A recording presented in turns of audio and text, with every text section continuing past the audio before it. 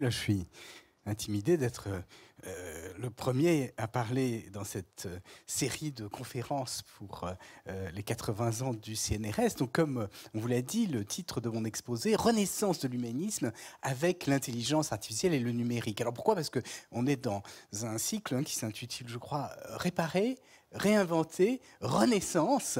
Hein. donc, effectivement, une espèce de renouveau avec la science. Et là, je voudrais justement vous parler du renouveau de l'humanisme. Alors c'est important parce que lorsqu'on parle d'intelligence artificielle, beaucoup de gens ont peur. Hein. ils pensent que c'est justement l'inverse, c'est la fin de l'homme. Alors je vais essayer de vous expliquer que justement, ce n'est pas ça. Alors pour le faire, je vais d'abord euh, vous parler de l'intelligence artificielle, très rapidement, rappeler ce dont il s'agit, parce que je me suis rendu compte hein, dans euh, euh, ces dernières années que le terme d'intelligence artificielle, qui était extrêmement couramment employé, était euh, euh, employé de façon euh, ambiguë. Plus exactement, il y avait un malentendu sur le sens de ce qu'est l'intelligence artificielle. Alors, pour le dire, hein, j'ai pris ici une plaque qui commémore l'événement fondateur de l'intelligence artificielle qui a eu lieu en 1956 dans une université américaine, Dartmouth College, qui n'est pas une très grande université au sens de la taille, mais très prestigieuse. C'est une des plus vieilles universités américaines, la Ivy League. Et là, en 1956, quatre personnes ont décidé d'organiser une école d'été sur une discipline nouvelle qu'ils ont appelée l'intelligence artificielle. Alors, ces euh, quatre personnes, c'était deux jeunes gens qui venaient d'avoir des tests de mathématiques, John McCarthy et Marvin Minsky, ils avaient 28 ans, et puis euh, euh, deux chercheurs plus confirmés, Nathaniel Rochester, qui était le directeur scientifique d'IBM, et puis surtout, hein, le grand, le très grand Claude Shannon, l'homme de la théorie de l'information. Et qu'est-ce qu'ils ont voulu faire, donc, cette discipline scientifique? Ils le disent dans une petite phrase qui est ici, et si vous devez retenir une chose, c'est celle-là, hein, une discipline scientifique qui se fonde sur la base d'une conjecture. Une conjecture, c'est une proposition en mathématiques qui a toujours été vérifiée, mais qu'on n'a pas démontrée. Donc, conjecture, hein, selon laquelle tous les aspects de l'apprentissage et toutes les autres caractéristiques de l'intelligence peuvent en principe être décrites de façon si précise qu'on va être capable de fabriquer des machines pour les simuler. J'insiste là-dessus. Vous voyez que l'intelligence artificielle, ça n'est pas modéliser, plus exactement, c'est pas reproduire l'intelligence, mais c'est au contraire la décomposer pour mieux la comprendre. On fait de l'intelligence artificielle non pas parce qu'on sait ce qu'est l'intelligence, mais parce qu'on ne sait pas. En tout cas, c'est ce qui m'a motivé, jeune chercheur, à me lancer dans cette discipline scientifique. Alors depuis 64 euh, euh, ans que cette discipline existe, euh, elle a transformé le monde. Et je vais donner quelques exemples. Le premier, c'est le web.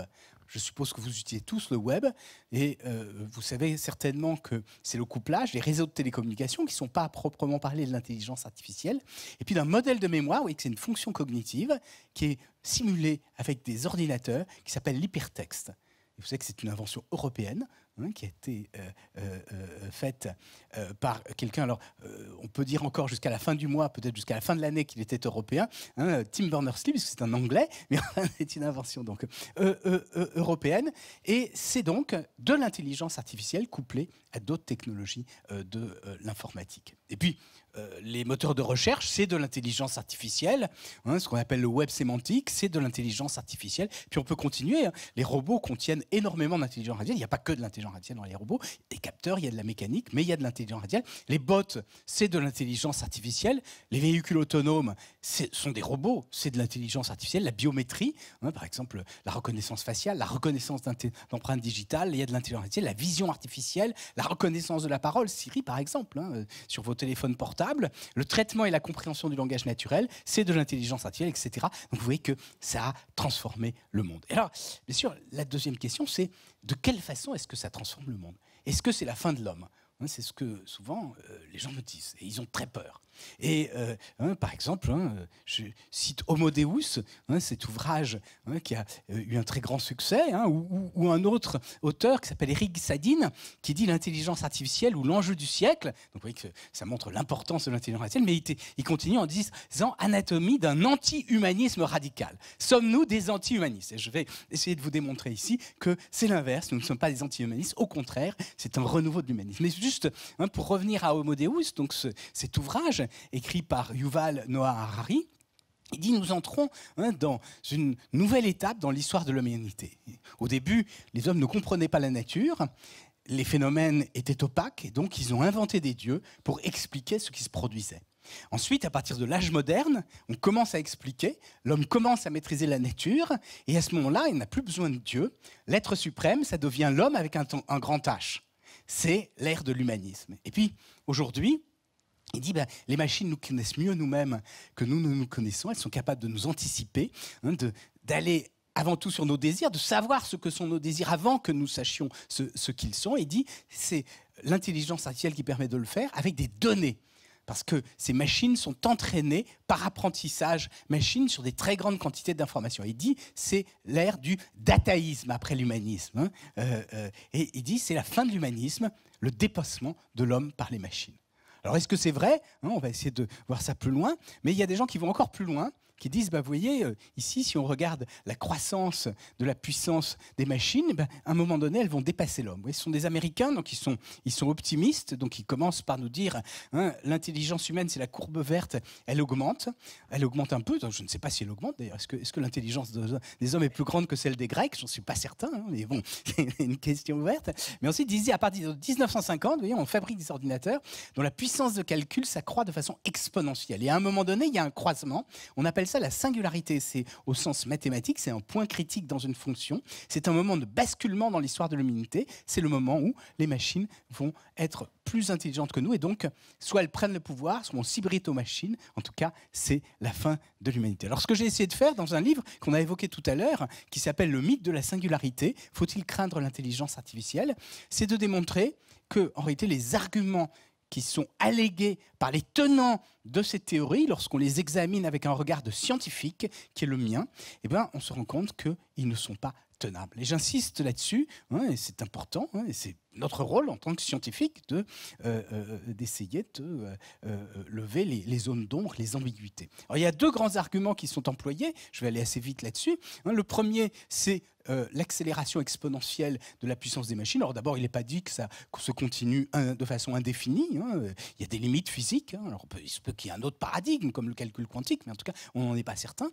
Mais surtout, la chose la plus importante, c'est que la fréquence de calcul, ça n'est pas l'intelligence. La fréquence de calcul, ça n'est pas la conscience. Il ne suffit pas d'avoir des machines extrêmement puissantes pour avoir des machines qui nous dépassent. Et puis le deuxième argument repose sur l'apprentissage des machines, hein, ce que j'ai évoqué tout à l'heure, hein, comme le, dataïsme, hein, cette puissance des machines. Or, les machines actuelles, certes, elles font de l'apprentissage, mais c'est un, un, apprentissage particulier, c'est l'apprentissage supervisé.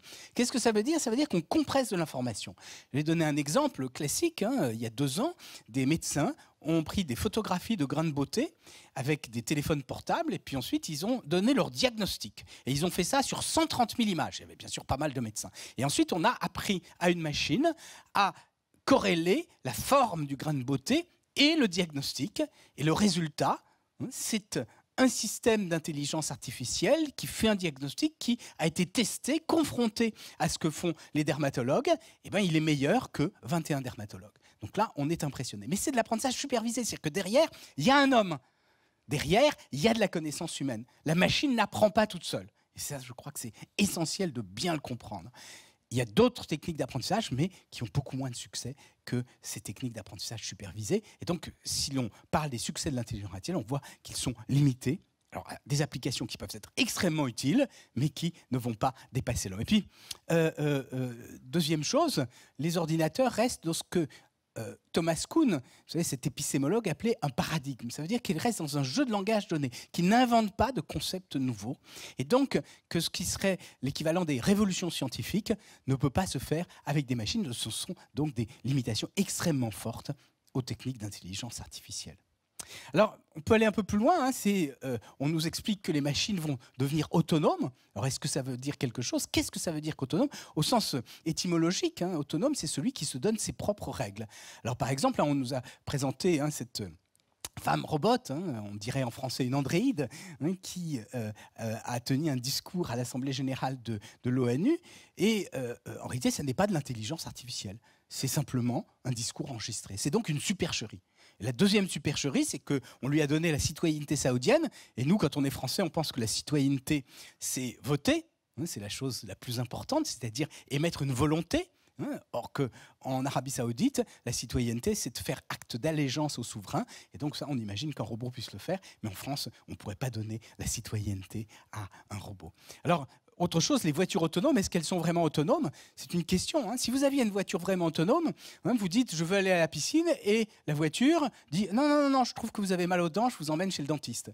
Ce serait très désagréable. Donc on n'a pas envie, on a envie de voitures automatiques, mais pas autonomes. Vous voyez, le terme est, trompeur. Hein, et la même chose avec les armes létales autonomes. On signe des pétitions contre, mais en réalité, les militaires ne veulent pas d'armes vraiment autonomes, ils veulent des armes automatiques. Il n'y a pas de révolution dans cet ordre-là. Mais bien sûr, il y a des transformations majeures. Les objets du quotidien, les montres, hein, les lunettes, Hein, elles vont euh, euh, nous surimposer à notre champ de vision des informations supplémentaires. Les bracelets, les bicyclettes, hein, ce qui explique hein, les euh, vélib, les chaussures, tout ça est couplé à du numérique. Les voitures, on dit souvent que c'est un ordinateur sur quatre roues. Les stéthoscopes, c'est que c'est l'emblème du médecin, ça ressemble vu de l'extérieur, mais c'est transformé par le numérique. L'intelligence artificielle et le numérique changent notre monde quotidien. Il s'agit de réinvention. On a parlé de réinvention du quotidien, mais ça change pas seulement le monde quotidien, ça change aussi la société.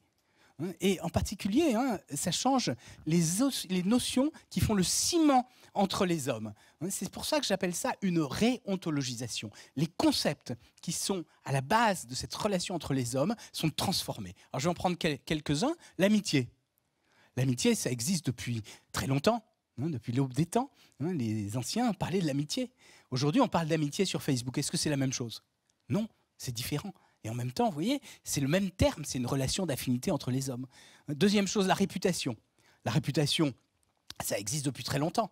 Est-ce que c'est la même chose aujourd'hui que c'était hier? Est-ce que le score social, le crédit social qui est donné par les Chinois, plus exactement par l'État chinois à ses citoyens, est-ce que c'est la même chose que la mauvaise réputation au village? Un peu, hein, ça se base sur les techniques d'intelligence artificielle qui, les, qui, reconnaissent les visages et qui sont capables d'identifier les gens qui ont traversé au mauvais endroit, hein, mais ce n'est pas euh, euh, euh, tout à fait la même chose. La confiance, avec la blockchain, s'est transformée. La monnaie, elle, est transformée avec l'intelligence artificielle, et enfin avec le numérique plus exactement, et en particulier hein, avec des nouvelles monnaies comme Libra ou comme le, comme le Bitcoin. Les communautés le travail, tout ça, la souveraineté, tout ça change. Donc tout ça, ce sont des effets de l'intelligence artificielle. Mais ce dont je voudrais vous parler aujourd'hui, c'est du fait que non seulement l'intelligence artificielle change le monde, sans changer l'homme, elle change vraiment la société dans laquelle nous sommes, mais qu'elle change aussi les humanités.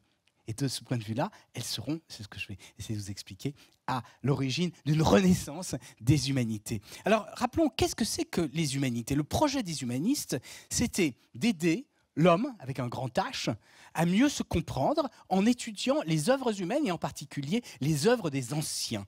Hein, il s'agissait donc hein, de euh, se pencher sur la création humaine, se pencher sur l'homme, et puis aussi promouvoir l'autonomie humaine. Et ça s'est fait parce qu'on a été capable de lire les textes de l'Antiquité, et d'autre part parce qu'avec l'imprimerie, on pouvait diffuser la connaissance.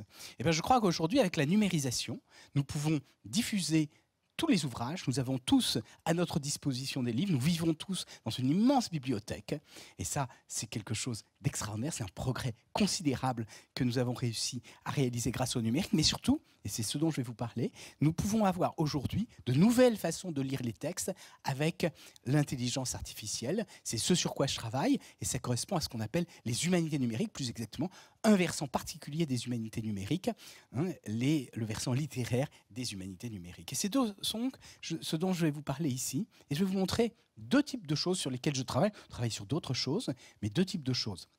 On travaille là-dessus dans un euh, euh, laboratoire, mon laboratoire qui est un laboratoire, une unité mixte euh, associée au CNRS, et surtout dans un laboratoire d'excellence qui fait collaborer mon laboratoire et les équipes de littérature de la vieille Sorbonne. Hein, vous voyez que c'est un ancien laboratoire, euh, des anciens laboratoires, ce sont toutes les équipes de littérature, mais avec lesquelles on fait des choses extraordinaires. Alors la première chose, on a travaillé sur la génétique textuelle. Vous allez me dire, qu'est-ce que c'est que la génétique textuelle? Hein, Ce sont deux mots qui ne vont pas ensemble. Ben, la génétique, ça vient de la genèse. Hein, c'est l'histoire du texte, c'est comment le texte s'est construit. Et ce que l'on fait avec des techniques d'intelligence artificielle, c'est aider les spécialistes de la jeunesse textuelle. Donc vous voyez, ça, ce sont les gens qui étudient, qui font les, ils disaient ça en s'amusant, ils font les poubelles des grands auteurs. Ils reprennent leurs brouillons. Hein, ici, c'est un, très beau brouillon sur lequel on va retravailler d'une euh, romancière qui s'appelle euh, André Chédid. Et chaque couleur correspond à une campagne de réutilisation. Et vous avez plusieurs brouillons comme, comme cela. Et ce qu'ont fait les spécialistes de euh, génétique textuelle, c'est à la main essayer de, comprendre l'évolution et à partir de ça, de mieux comprendre le, mouvement de la genèse du texte. Donc il y a bien sûr des petites corrections orthographiques, des petites erreurs de syntaxe, mais il y a surtout, et ça c'est important, hein, des transformations sémantique. Toutes les transformations vont dans, le même sens. Alors là, vous voyez, c'est une, on commémore les, 80 ans du CNRS, mais l'an dernier, vous voyez, on, commémorait les 50 ans de la génétique textuelle, hein, parce que le laboratoire avec lequel je travaillais, qui est un laboratoire de l'école normale supérieure, a été fondé en 1968. Donc là, j'ai pris l'exemple d'André Chédid, mais on pourrait bien sûr en prendre beaucoup d'autres. Et à partir de ça, eh ben, on prend différents états de texte. Par exemple, ici, j'ai pris le tapuscrit et puis le dernier état du texte. Et ensuite, qu'est-ce qu'on fait? Eh ben, Automatiquement, avec différentes techniques, on essaye de voir quelles sont les transformations. On a repris des opérateurs qui avaient été mis en évidence par les spécialistes de génétique textuelle, en particulier les suppressions, les adjonctions, les ajouts, mais aussi hein, les remplacements euh, et puis les déplacements. Et euh, euh, ben, à partir de ça, on peut lire les choses et on se rend compte qu'il ben, y a des, choses étonnantes. Par exemple, sur ce petit texte, c'est dans un recueil de, petites histoires que André Chédid dédie à sa mère, qu'elle adore, qu'elle vénère. Mais on se rend compte, bien sûr, qu'entre la première et la dernière version, il y a une transformation. Dans la première version, elle commençait par Elle nous aimait. Puis oui, elle déplace en gris Elle nous aimait au milieu et puis ensuite, on se dit, nous nous sentions aimés par elle. Alors, je n'ai pas le temps hein, ici, mais je vais juste dire, quels que soient les moments de nos existences, parfois avec abnégation, et elle dit, sa mère se recule dans l'ombre, hein, puisqu'elle veut mettre en valeur ses enfants. Et puis ensuite, dans la deuxième partie du texte, vous voyez, nous nous sentions aimés par elle, hein, elle nous aimait avec intelligence et sans abnégation. Vous voyez que ça change complètement. elle n'a pas du tout d'abnégation. Et au lieu de reculer dans l'ombre euh, euh, pour donner la place à ses enfants, au contraire, elle traite ses enfants comme des marionnettes. Et donc, elle est en train de régler ses comptes avec sa mère. Vous voyez que c'est une lecture que l'on fait à travers la diachronie qui est passionnante. Ça donne un sens nouveau au, texte. Hein. voilà ici. Hein. Et puis, bien sûr, on utilise ça pour faire des éditions électroniques. Là, par exemple, c'est un auteur qui est extrêmement connu en Suisse qui s'appelle Ramuse. Les Français avaient fait une édition de La Pléiade sur Ramuse. Et ensuite, Slatkin, un éditeur suisse, a voulu faire une autre édition, mais qui soit différente. Et il nous a demandé d'utiliser notre logiciel pour comparer les différentes versions des romans. Vous voyez, quand il y a 3-4 versions des romans sur le papier, on n'est pas capable de faire quoi que ce soit, tandis que là, eh ben, on peut avoir toutes les comparaisons. Et ça peut être extrêmement utile pour les érudits. Hein. Voilà ici hein, euh, euh, euh, l'exemple de cette comparaison des différentes versions. C'est un des romans hein, de, c'est, je crois, Les signes parmi nous. C'est un des romans, deux versions d'un des romans de Louis-Ferdinand Ramus. Il y a actuellement une version de la comédie humaine qui va être euh, disponible avec ce type d'outils. Donc vous voyez, nouvelles, nouvelles éditions. Puis on va se dire, ah oui, mais dans le futur, le problème, c'est que les auteurs n'écriront plus sur du papier. Et alors, bien sûr, on n'aura que les disques durs. Alors justement, aujourd'hui, on travaille avec l'ITEM, on a la chance d'avoir les disques durs de Jacques Derrida. Et donc voilà hein, ce qu'on voudrait faire.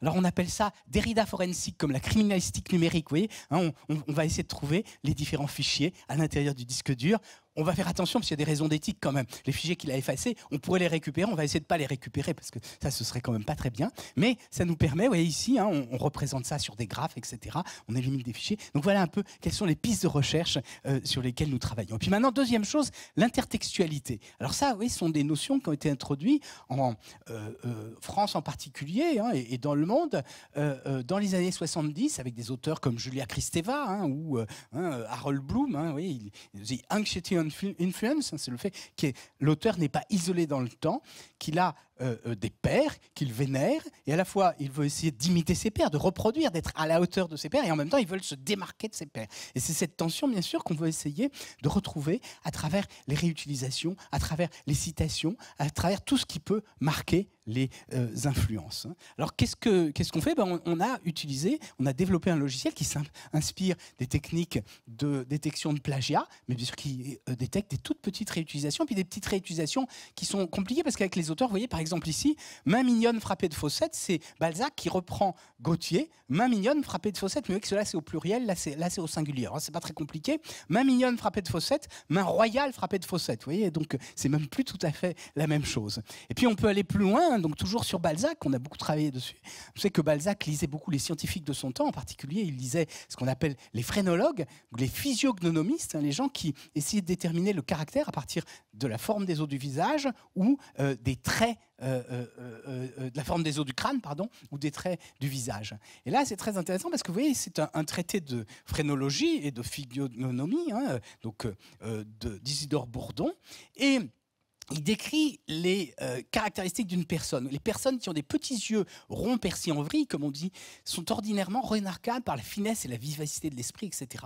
Hein, et, souvent même par une malignité satirique. Et eh ben, ce qui est intéressant, c'est qu'on retrouve chez Balzac automatiquement hein, presque euh, euh, la même chose. Il décrit une personne, il dit ses petits yeux verts percés comme une vrille. Oui, c'est une expression qui ne vient pas par hasard. Donc il y a certainement une intention euh, qui est derrière. Voilà, ça, ça permet de lire les textes différemment. Alors dernière chose amusante, hein, quand on a utilisé notre logiciel, on a essayé de tester Balzac contre lui-même et on a vu que quelquefois il se réutilisait. Hein, par exemple là, ouais, c'est tout, ce qui est en vert, c'est presque la même chose. Hein. donc c'est une grosse réutilisation de Balzac. On était fiers parce que dans la Pléiade, ils n'avaient pas, pas retrouvé cette réutilisation. En plus, ce qui est drôle, c'est que Balzac, dans un cas, c'est un homme, dans l'autre, c'est une femme. Hein. mais bon, peu importe. Vous voyez, tout ça, hein, ça montre qu'on peut relire les textes différemment. Alors, le problème, bien sûr, c'est que quand on fait ça, la difficulté, c'est. Alors, on a, développé un logiciel, puis on travaille avec l'Université de Chicago qui a développé un autre logiciel. On a des, comme ils sont fondés à peu près sur les mêmes principes, on a décidé de fusionner ces deux, logiciels. Mais le problème, c'est que si on travaille avec des gros corpus, et aujourd'hui, hein, on est capable, on a un accord avec la Bibliothèque nationale de France, et on a un, un corpus de 130 000 ouvrages qui sont numérisés. Hein. Et aux États-Unis, ils ont un, très gros corpus qui s'appelle Eco European euh, euh, Corpus, euh, non, 18th Century Corpus Online, hein, un, corpus de textes du 18e. Ils ont 250 000 ouvrages. alors, bien sûr, quand, on, essaye de regarder les réutilisations, on voit qu'il y en a beaucoup. Vous voyez, par exemple, on a comparé Frontex et le corpus de la très grande bibliothèque, et on avait 874 000 réutilisations. On est totalement perdu. Hein. de même, avec l'encyclopédie euh, de Diderot et d'Alembert, on avait 300 000, ce qui est quand même beaucoup. Et on avait fait un test avec ECHO sur un, petit corpus, hein, et on avait 17 millions de réutilisations. Alors comment faire? Alors c'est toujours ce qu'on fait, bien sûr, hein, euh, euh, dans notre laboratoire. Pour ça, on utilise la théorie des graphes. Alors je vous rappelle ce que c'est. Hein. Qu'est-ce que c'est qu'un graphe? C'est au sens mathématique, c'est un objet mathématique est composé de nœuds qui sont des entités et de liens qui sont des couples d'entités. Alors ici, les liens euh, ce sont des réutilisations et les entités, ce sont des positions sur les textes. Vous voyez que ce n'est pas tout à fait le même texte hein, ici. Hein, entre, entrer ici dans une discussion métaphysique sur la différence qui peut exister entre, entrer ici dans une discussion théorique sur la, sur la euh, euh, différence qui peut exister entre. Et qu'est-ce qu'on va faire avec ces graphes? Eh ben, On va pouvoir utiliser un certain nombre d'outils qui sont développés pour traiter de très gros graphes. Et en particulier, il y a des outils qui nous intéressent, qui ont été développés par les gens qui s'intéressent à l'Internet, c'est la détection des communautés, c'est-à-dire hein, des, graphes qui ont beaucoup de liens les uns avec les autres. Et ça veut dire que si on a beaucoup de, entre des parties de texte, beaucoup de réutilisation, eh ben, ça va avoir une, signification. Alors c'est important parce que oui, une des difficultés qu'on avait, c'est que lorsque on utilisait en particulier les corpus euh, de langue anglaise, il y avait énormément de citations de la Bible. Alors si vous, voyez, si, euh, vous avez ou, des citations de Shakespeare, par exemple. Si on, si on cite mille fois euh, To be or not to be hein, sur un corpus, ben, le nombre de liens, ça va être un million de liens. Vous voyez, on va être noyé hein, dans les citations de To be or not to be. donc pour ça, ce qu'on essaye, c'est de les regrouper avec euh, ces notions-là. Donc voilà ici hein, une interrogation. Vous voyez, on peut. ça, c'est une réutilisation ici. Et puis, bien sûr, ici, vous voyez, on compare ici Balzac et tout un corpus romanesque du 19e siècle. Alors ici, je me suis intéressé juste pour vous donner un exemple. Hein, j'ai pris Balzac et puis on, a, euh, on s'est demandé, tiens, on avait vu qu'il y avait des choses sur les habits qui, étaient récurrentes. Alors on a pris quelque chose qui est la boucle de chaussures on a tapé boucle et on regarde toutes les réutilisations avec des boucles. Et vous voyez, il y en a, il y en a trois, et il y en a une qui est importante parce qu'il y a 32 nœuds. Alors ici, je vous la présente. Voilà cette réutilisation, et c'est très intéressant. Donc on voit les, différentes, les différents romans, et on voit hein, la garde-robe de Balzac, la façon dont il habille ses personnages. Hein, ici, ensuite, hein, on peut regarder les, mots qui sont en présence. Vous voyez, pantalon noir, bottes, habits, ciré, drap bleu, redingote, etc. Vous voyez que c'est une nouvelle façon de lire les textes qu'on trouve vraiment euh, passionnante. Et, ici, voilà, on reprend avec les, différentes. Euh, euh, alors on le voit pas ici parce que c'est un peu petit, mais on voit ici les différents éléments d'habillement et puis leur densité plus ou moins grande. Hein, et puis, on peut aussi regarder les influences entre les auteurs. Hein, si on a plusieurs auteurs, on regarde qu'est-ce qu'il y a comme réutilisation commune. Hein, et la taille du lien est liée au nombre de réutilisations. Là, c'est entre Balzac et euh, le corpus romanesque. Et puis ici, c'est entre tous les auteurs du corpus romanesque entre eux, Balzac et tous les autres. Vous voyez, par exemple, il y a une grande proximité entre Balzac et Théophile Gautier. On l'avait vu tout à l'heure. Entre Balzac et Georges Sand. entre Balzac et euh, euh, Eugène Sue, etc. Et là encore, ça nous permet une lecture euh, de la littérature qui est un peu différente. Alors, je voudrais maintenant euh, euh, conclure hein, avec l'hypothèse de départ, hein, qu'est-ce que c'est hein, qu'un humanisme numérique? On a dit que on était en train de renouveler les humanités. Les humanités, au sens traditionnel, c'est l'étude du latin et du grec, mais ça, c'est plutôt dans l'acception dans le monde anglo-saxon. Les humanités, c'est, ce sont les disciplines qui étudient les œuvres humaines. C'est ce qu'on appelle hein, en, allemand les, sciences de la culture. Hein. et donc l'intelligence artificielle, comme euh, euh, j'ai essayé de vous le dire, ça transforme la société, ça transforme les sciences de la nature. Je n'ai pas eu le temps d'en parler ici, hein, mais il y a de nouvelles formes euh, d'expérimentation, d'exploitation des données qui se font avec l'intelligence artificielle. Mais ce qui est très nouveau, et c'est ça qui me passionne, c'est que ça transforme aussi les sciences de la culture. Mais ces sciences de la culture, elles peuvent aboutir sur un nouvel humanisme. Hein, et c'est ce que je voudrais dire en conclusion. Il se trouve que au moment où on a réhabilité la tour Zamansky sur le campus Jussieu, la ministre de l'époque a euh, euh, dit que c'était euh, un lieu où on étudiait depuis très longtemps, et elle a parlé du collège Saint-Victor. Alors ça, tout d'un coup, ça a évoqué quelque chose. Et je ne sais pas si vous vous souvenez, il y a un très beau texte de euh, euh d'Ivan Illich qu'il a écrit en, 1993. Il l'a écrit en anglais, hein, donc ici c'est le titre anglais. Hein, In the Vineyard of the Text, hein, c'est dans le, vignoble du, texte, un commentaire du didascalicon d'Hugues. Mais en fait, c'est Hugues de Saint-Victor tout d'un coup, je me suis dit, mais peut-être que Saint-Victor, effectivement, était près de Paris. Effectivement, hein, Hugues de Saint-Victor, ce qu'il a fait, je vais le dire ici, c'est très important, il a étudié de nouvelles méthodes de lecture ici, et il l'a il fait parce qu'il a introduit à l'intérieur du texte des marques d'oralité. Vous voyez que c'est avant l'imprimerie. Il a dit, ben, on va séparer les mots. C'est essentiel parce que grâce à ça, ça permettait d'avoir une lecture silencieuse. Auparavant, il fallait oraliser le texte pour être capable de le comprendre. Ça a permis d'aller plus vite, et peut-être que justement, hein, euh, euh, euh, la Renaissance est liée en partie à ce type de choses. Et donc ça, ça s'est fait tout près de Jussieu. Hein, passage de la lecture orale à la lecture silencieuse. Et ce que je souhaite avec les humanités numériques, avec les collaborations que nous avons avec la Sorbonne, dans le cadre de Sorbonne Université d'ailleurs, mais je veux dire avec la, vieille Sorbonne, c'est effectivement être capable d'avoir une nouvelle approche du texte et euh, euh, euh, des humanités au XXIe siècle. Donc c'est, je crois, une façon de réinventer les humanités, mais aussi de réenchanter d'une certaine façon les textes anciens en les relisant de façon différente. Alors voilà, j'ai presque conclu, terminé mon exposé. Si j'ai quelques secondes, hein, je voudrais évoquer ici une, confession. Hein, on, a dit tout à l'heure hein, que euh, euh, on s'intéressait pas seulement dans le cadre de la science euh, aux réalisations scientifiques, aux transformations du monde, mais aussi aux liens avec l'aspect artistique. Alors, je vous ai montré bien sûr que nous étudions la littérature, c'est un aspect artistique. Mais là, donc, euh, c'est un peu, je suis un peu confus. J'ai écrit d'ailleurs sous un faux nom, vous voyez, Gabriel Naège, hein, c'est l'anagramme de, mon prénom. Hein, je vous ai dit tout à l'heure que la singularité technologique était une fable, que c'était une fiction. Et là, ben, je vous dis la réalité. La réalité, c'est que c'est peut-être pas une fiction. Hein, c'est peut-être pas une fiction. La singularité, je dois l'avouer, elle est advenue. Et pour compte de malheur pour moi, c'est ma mère ma propre mère euh, qui s'est fait télécharger. Et en plus de ça, ce qui me trouble beaucoup, c'est qu'elle a décidé de se réincarner dans un robot. Parce que si elle était juste téléchargée, euh, elle serait une âme errante. Et elle m'a chargé d'acheter le robot. Et il se trouve qu'elle a choisi, ça, ça m'a vraiment beaucoup étonné, un, robot, un robot sexuel. Hein, ce qu'on appelle une PPP. Vous savez, les PP, hein, dans les années 50, c'était une jolie fille. Les PPP, dans les années 47, 2047, hein, euh, euh, c'était euh, des pulpeuses à peau de pêche. Hein, c'était des nouveaux, des, nouveaux robots, un peu comme ceux qu'il y a là-haut, mais plus beaux que ceux qu'il y a là-haut. Et en plus, donc, elle fait éruption à tout moment dans ma vie, à travers mes lunettes. J'ai parlé de ces nouveaux objets, hein, et c'est extrêmement désagréable. Alors, j'espère que vous allez compatir pour moi. Merci.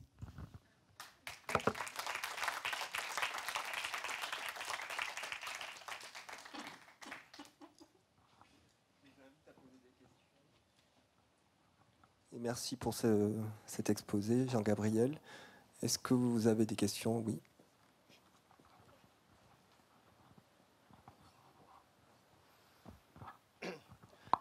Il y a un autre exemple de l'humanité numérique, euh, ce que fait euh, Frédéric Kaplan euh, sur la ville de Venise, avec les, big data de l'ancien temps. Mais lui, il parle de capitalisme linguistique. Qu'est-ce que vous en pensez? Notamment avec les, moteurs de recherche, les, autocomplexions dans les moteurs de recherche qui formatent la langue. Alors, première chose, d'abord, ça me fait très plaisir que vous parliez de Frédéric Kaplan, parce qu'il il a été mon, élève. Paradoxalement, euh, euh, à l'époque, j'enseignais l'intelligence artificielle, nous ne parlions pas d'humanité numérique. Et puis ensuite, il a fait sa thèse, j'ai été le président de son jury de thèse sur les robots. Et puis, on s'est retrouvés quelques années après, où on faisait tous les deux des, humanités numériques. Et donc, je, connais assez bien le, travail qu'il conduit et qui est passionnant. Il y a bien sûr énormément de, perspectives qui s'ouvrent euh, dans ce champ-là. Comme je l'ai dit, hein, ce sont toutes les, sciences de la culture hein, qui sont transformées par le numérique. Alors après, il y a différents aspects. Hein. Il s'intéresse beaucoup à l'évolution dans le temps, à la diachronie. Hein. Alors moi aussi, je ne l'ai pas dit ici, mais je m'intéresse aussi un peu à l'évolution le temps. Mais moi, je, me centre plutôt sur la littérature, tandis que lui, il s'est centré en particulier sur euh, l'évolution des documents officiels à, Venise. Et puis après, effectivement, il a travaillé sur autre chose qui est très très intéressant, hein, qui euh, là relève plus de la sociologie, de la sociolinguistique, qui est euh, effectivement sur ce qu'il appelle le, le capitalisme linguistique. Ce sont bien sûr des questions extrêmement, extrêmement intéressantes. Mais ce sont d'autres aspects, bien sûr, des, humanités numériques. Il y en a beaucoup. Hein.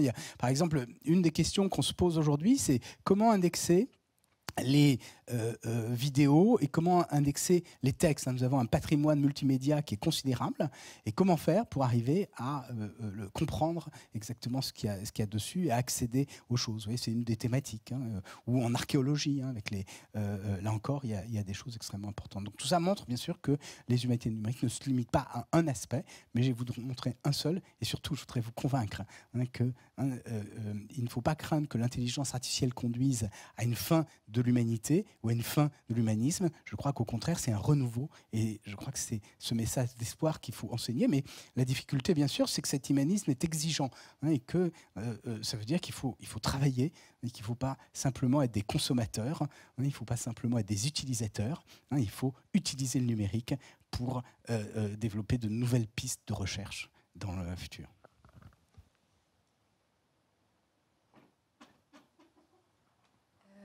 Je, me posais la question de comment vous vous situez par rapport à tous les travaux, je dirais les, discussions ouvertes par quelqu'un comme Bernard Stiegler sur les humanités digitales, euh, qui ne sont pas forcément académiques, mais qui ont au moins depuis quand même ces 5-10 dernières années euh, animé une discussion assez vivante euh, sur les humanités digitales et aussi sur les questions, de, par exemple, de démocratie algorithmique, tout ce volet-là, plus euh, qu'est-ce que vous en pensez Oui, alors il y, a deux volets. D'abord, c'est une réflexion philosophique. Là, j'ai voulu être beaucoup plus pratique, concret. Hein, on fait ça sur une matière qui est une matière, une matière littéraire. Mais sinon, bien évidemment, hein, une réflexion générale sur le rôle du numérique dans les transformations de la culture est extrêmement importante. Et puis quant aux, aspects politiques, alors ce sont aussi des questions qui m'intéressent énormément, mais là, euh, enfin, j'ai pas voulu en parler aujourd'hui, ça demanderait beaucoup de, beaucoup de temps, mais je crois, hein, je l'ai évoqué tout à l'heure lorsque j'ai parlé de réontologisation, je pense que justement, comme la, la société se change, les grands enjeux de l'avenir sont des enjeux politiques, et on le voit tous les jours, on voit que les démocraties sont mises au défi par de nouveaux acteurs qui sont euh, euh, les grands euh, patrons, les géants de l'Internet. Ça pose des questions, bien sûr, qu'il faut prendre très au sérieux. Ah Bernassi, oui, bien sûr, je le connais, on travaille ensemble. On est même, enfin, pas directement, mais on échange et en particulier, on est dans le comité scientifique de l'Observatoire des mémoires, hein, et donc on échange beaucoup.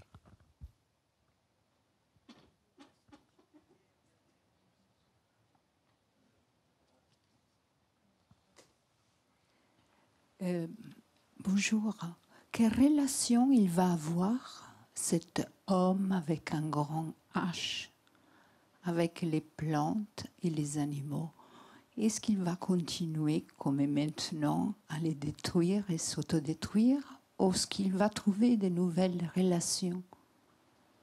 Oui, je vous remercie de cette question. je n'ai pas beaucoup de temps pour y répondre, mais c'est un problème tout à fait essentiel. Lorsque j'ai parlé de singularité technologique ou euh, de ces perspectives un peu transhumanistes hein, qui sont déployées par les grands acteurs de l'Internet. Ce qui est très curieux, c'est qu'il n'y a jamais dans leur discours aucune considération sur les limitations matérielles, sur les limitations énergétiques hein, sur euh, euh, l'environnement dans lequel on vit. Et je crois que, bien sûr, ce sera extrêmement important pour, pour l'avenir. Je suis d'accord avec vous.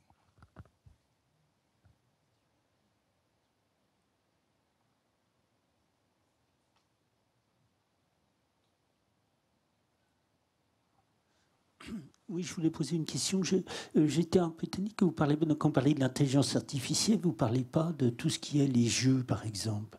Et euh, donc, on a vu c'est, que, le, que, la machine, justement, avec, sur les algorithmes, peut être euh, nettement plus performant que l'homme.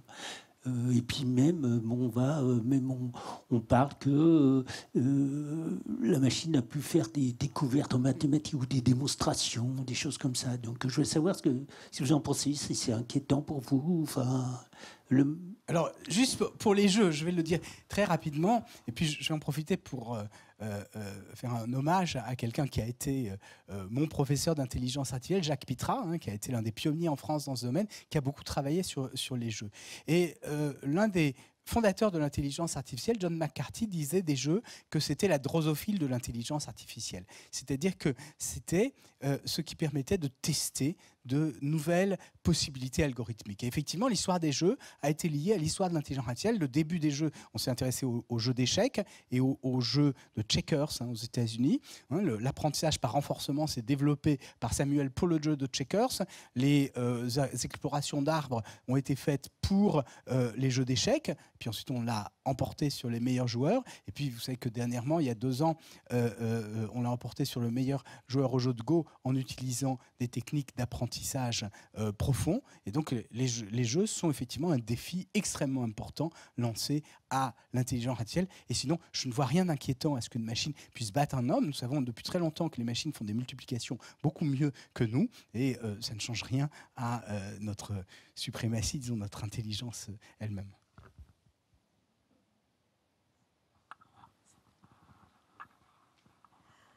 Euh, oui, vous m'entendez.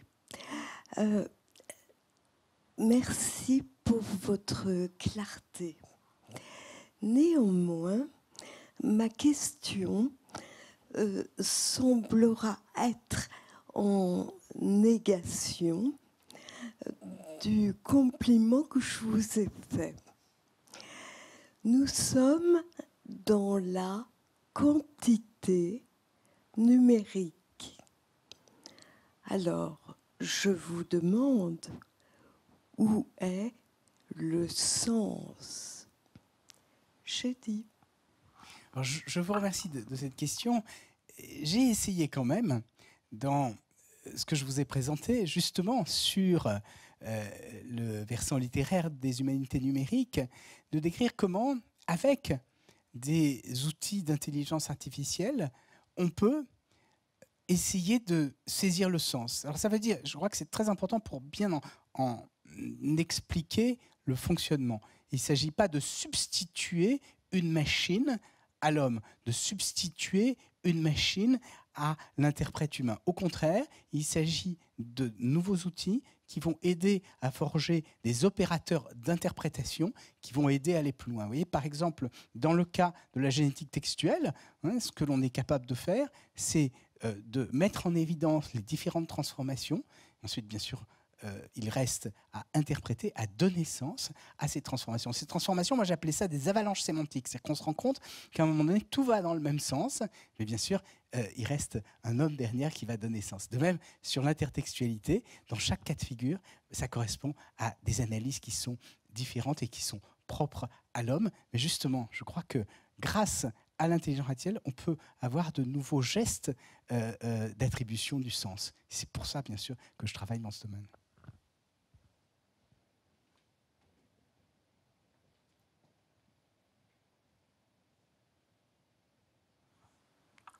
Bonjour. Euh, je me demandais, euh, par rapport à votre dernière euh, slide sur le passage à l'oralité et de la séparation des mots qui permettait donc de passer d'une lecture silencieuse, est-ce que justement, ça applique, on ne pourrait pas voir aussi une autre façon de lire à travers ces questions d'intertextualité, en justement peut-être, alors je ne sais pas, ça va paraître idiot de parler en lire moins, en lire plus, mais peut-être lire autrement, lire de façon hachée, lire des bouts. Est-ce qu'il y aurait une, je sais pas, je pense à un livre qui s'appelle Marel de, ou, ce qui peut se lire de deux façons différentes, dans un ordre différent. Est-ce que justement, cette, y aurait des idées comme ça pour lire tout différemment à fait, tout à fait, tout à fait. Il y a des recherches dans ce sens-là. ça va exactement, ça va exactement dans ce sens-là. Alors, j'ai pas le temps mm. d'insister ici, mais euh, euh, lorsque les spécialistes de euh, l'intertextualité ou de l'hypertextualité ont lancé leur théorie, ils avaient l'idée de lire différemment. Par exemple, je ne sais pas si vous avez lu l'essai de Barthes S sur Z, où il explique comment lire euh, le roman euh, Sarrazine de différentes façons. vous savez, il le découpe en lexie et ensuite il dit, ben, c'est comme, ce sont comme des étoiles et on va les relier. Hein, ça va être des, constellations hein, dans, le, ciel. Donc on va avoir différents types de lecture. Et, et il ouvre différents types de lecture. Et je crois que justement, avec ces outils d'intelligence artificielle, on peut avoir différentes lectures de textes. Alors ça peut être de textes littéraires ou de textes philosophiques en repérant des, des ou des, ou, des, ou des, choses qui sont réutilisées. Nous, on travaille aussi, par exemple, sur euh, l'histoire de la littérature. Vous savez, par exemple, euh, Molière hein, a eu, il y a eu beaucoup de légendes autour de Molière, hein, autour du fait qu'il était trompé par, par sa femme. Les spécialistes disent que c'est un peu douteux parce que c'était une grande star à son époque et que la différence d'âge avec sa femme n'était pas si exceptionnelle pour l'époque. Mais justement, ce qui est intéressant, c'est de regarder les anecdotes de Molière et de regarder comment elles se reprennent les unes les autres, où est-ce qu'elles naissent et comment elles s'amplifient. Donc je suis tout à fait d'accord avec vous, c'est ce qu'on essaye de faire. D'accord, merci. Une dernière question.